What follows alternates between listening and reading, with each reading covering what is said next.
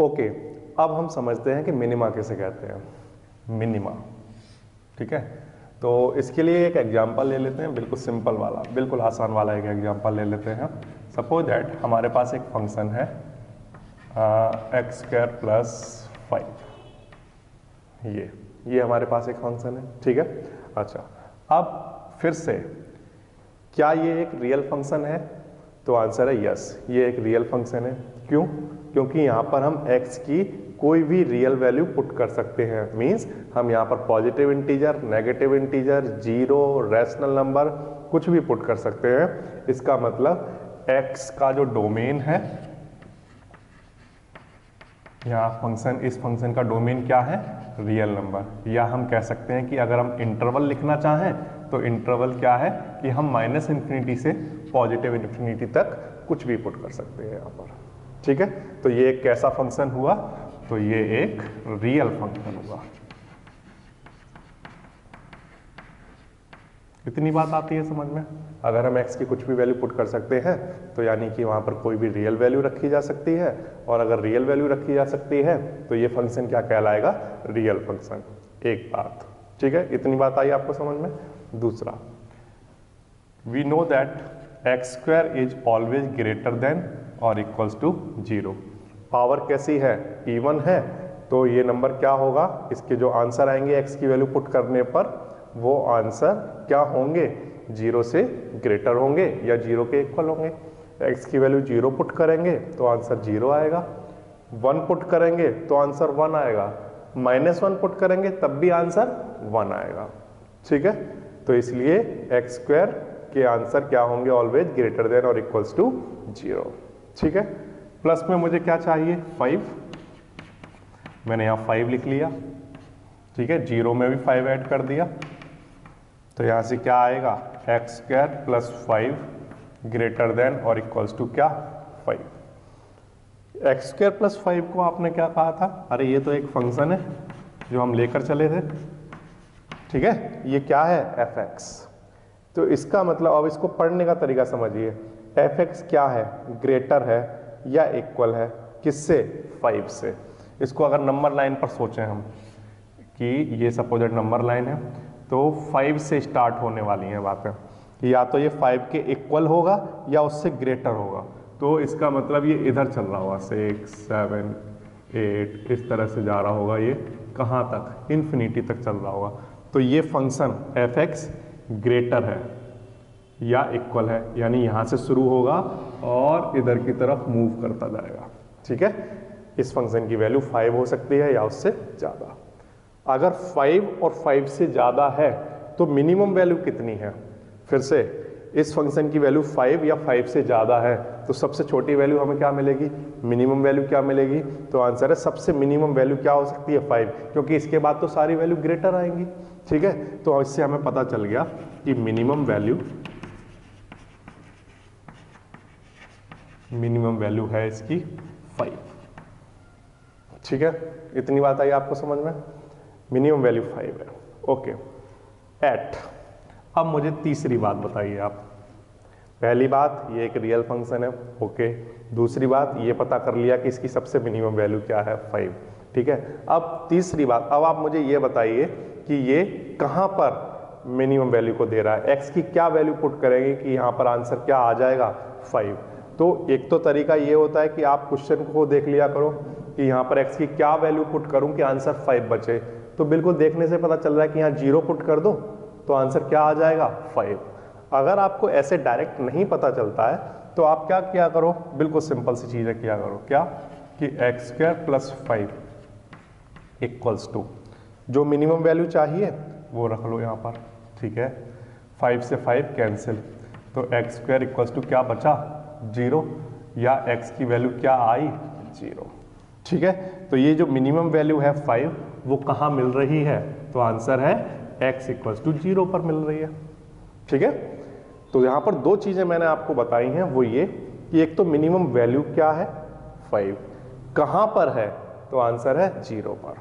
ठीक है? So this function have minimum value five at x equals to zero ठीक है? अच्छा। इसको अब हम ग्राफ से क्या से समझ सकते हैं? तो ग्राफ से बड़े आसानी से समझ जाएँगे। ये। हमने x और y एक्सिस बना लिए। ठीक है? x इक्वल्स टू ज़ीरो है तो y की वैल्यू कितनी है? तो y की वैल्यू आती है मिनिमम वैल्यू फाइव के तो ये ग्राफ इसका ऐसा कुछ आ जाएगा। ठीक है? ये इसकी minimum value x equals to zero पर फ़ंक्शन की वैल्यू क्या आ जाती है? फाइव तो ये इसकी मिनिमम वैल्यू होगी। इधर भी ये फ़ंक्शन इंक्रीजिंग है और इधर भी ये फ़ंक्शन इंक्रीजिंग है। बढ़ता चला जाएगा। ठीक है? दोनों साइड में क्या होगा? इंक्रीज होता चला जाएगा। सो मिनिमम वैल्यू क्या मिलेगी हमें? ज़ीरो एंड फाइव ठीक है? ये समझ आ रहा है? बिल्कुल आसान है। तो अगर ये इतना आसान है तो इसकी डेफिनेशन भी बिल्कुल आसान होती होगी। कैसे होती होगी? देख लेते हैं।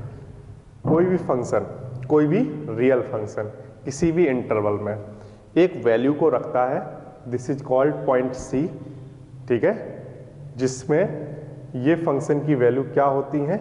ग्रेटर होती हैं या इक्वल होती हैं एट दैट पॉइंट मींस इस बात का मतलब ये है कि यहाँ पर आपने क्या लिखा? F x greater than equals to five और इसको हम क्या लिख सकते थे? F x greater than equals to ये फाइव कब आता है आंसर? ये फाइव आंसर कब आता है? जब x की वैल्यू क्या होती है? ज़ीरो तो इस चीज़ को ऐसे लिखा जा सकता है। है ना? ऐसे लिख सकते हैं कि x की वैल्यू ज़ीरो पुट करने पर आंसर क्या आता है? फाइव तो फाइव को हम क्या लिख सकते हैं? एफ़ एट ज़ीरो ठीक है? तो किसी भी फ़ंक्शन में, किसी भी फ़ंक्शन रियल फ़ंक्शन में कोई एक पॉइंट होता है सी जो कि कहाँ लाई कर रहा होता है? तो आंसर है, वो उसके इंटरवल के बीच में ही कहीं लाई कर रहा होता है सी जिस पर उस फ़ंक्शन की हमें कैसी वैल्यू मिलती है? मिनिमम वैल्यू क्यों? क्योंकि एफ़ एक्स क्या होता है? ग्रेटर या equals to at that point ठीक है? So that point gives us a minimum value ठीक है? तो ये मिनिमम वैल्यू है। अच्छा अब यहाँ पर आप मुझसे बात करिए मैक्सिमम वैल्यू के बारे में। इस फ़ंक्शन की मैक्सिमम वैल्यू क्या हो सकती है? तो आंसर है यहाँ, आप वैल्यू पुट करते जाओ नेगेटिव पॉजिटिव कुछ भी पुट करते जाओ, ये नंबर क्या होता जाएगा? इंक्रीज होता चला जाएगा। कितना इंक्रीज होता जाएगा?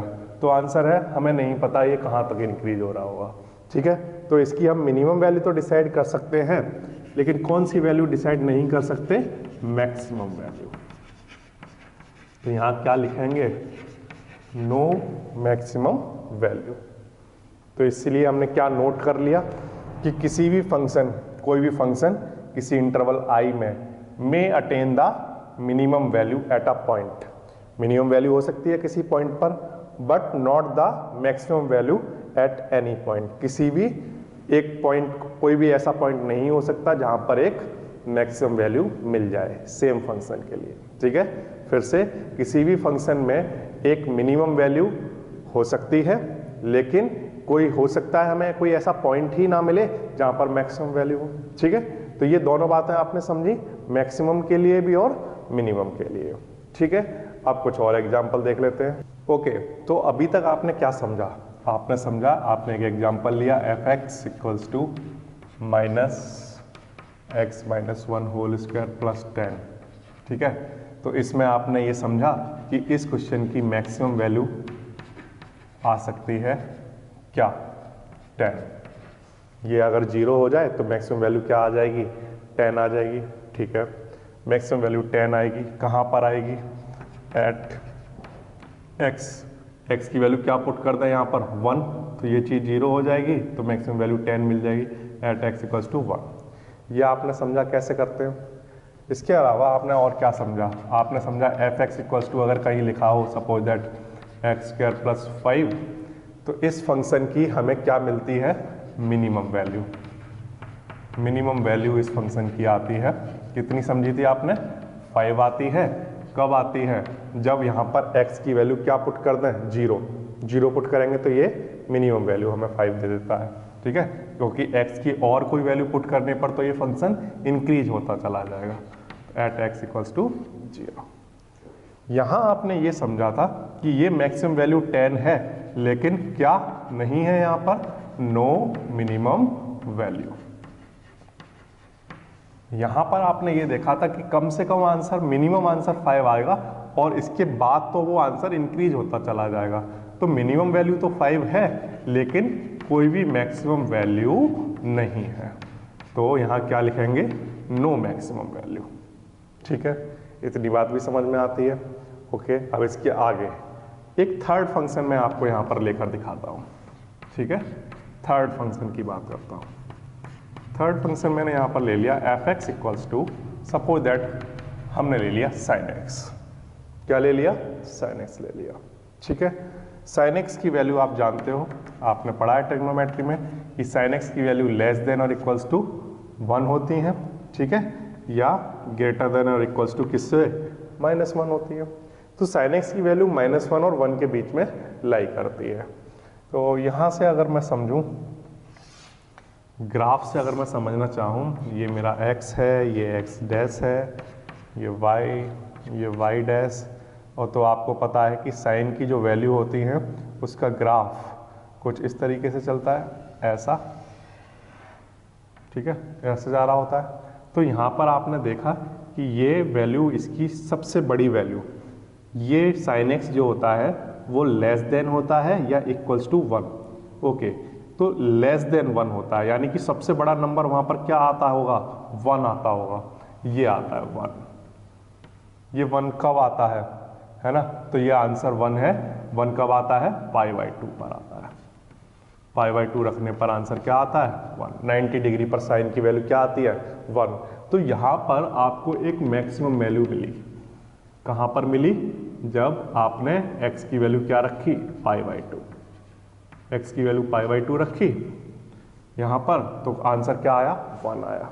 तो यहाँ एक मैक्सिमम वैल्यू मिल गई इस फ़ंक्शन के लिए। ठीक है? अच्छा अब इसके आगे की बात करते हो।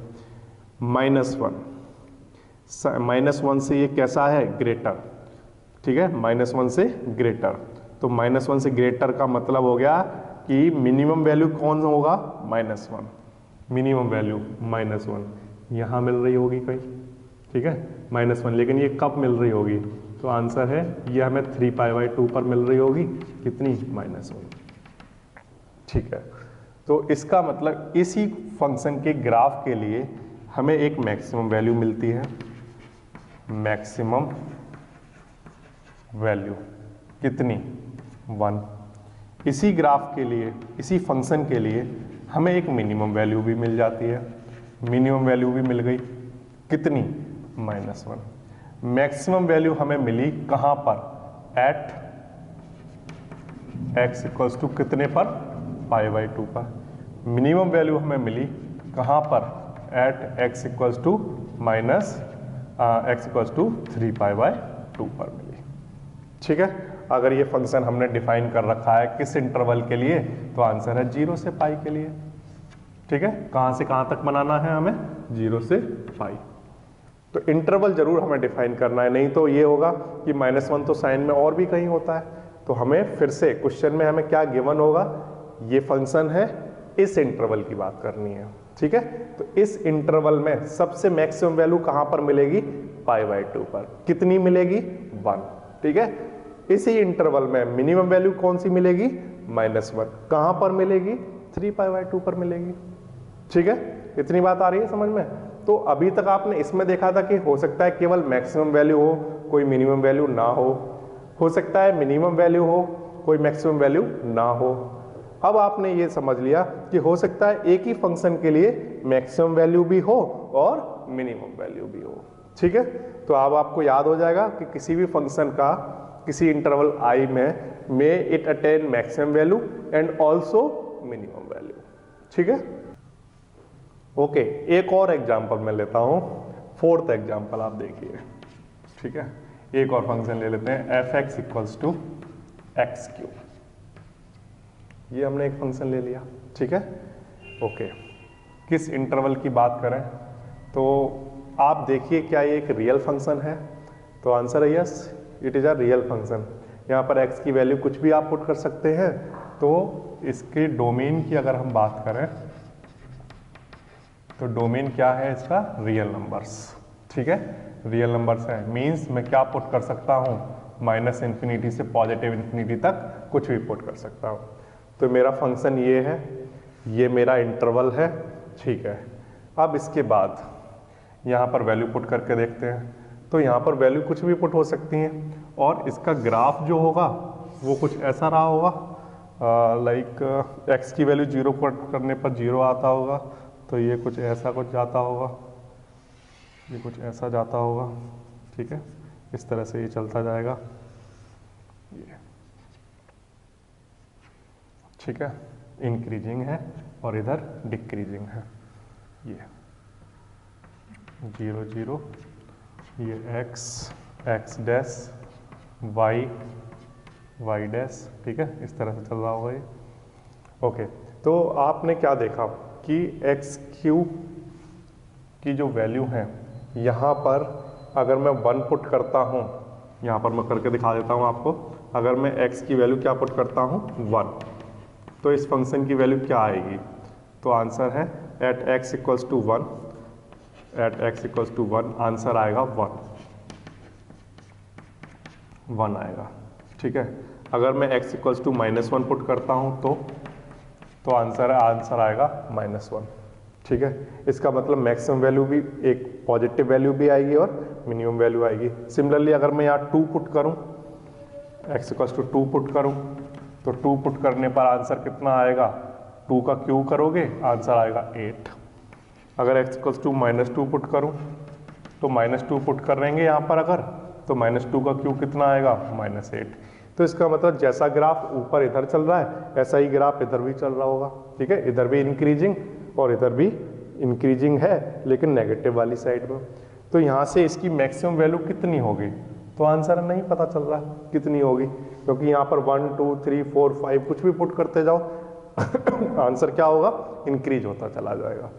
और नेगेटिव में अगर पुट करते जाओ तो नेगेटिव की साइड इंक्रीज होता चला जाएगा। तो यहाँ पर हम डिसाइड नहीं कर सकते कि ये कितना मैक्सिमम होगा या कितना मिनिमम वैल्यू को गेन कर रहा होगा। तो ये एक एग्ज़ाम्पल है कि नो मैक्सिमम वैल्यू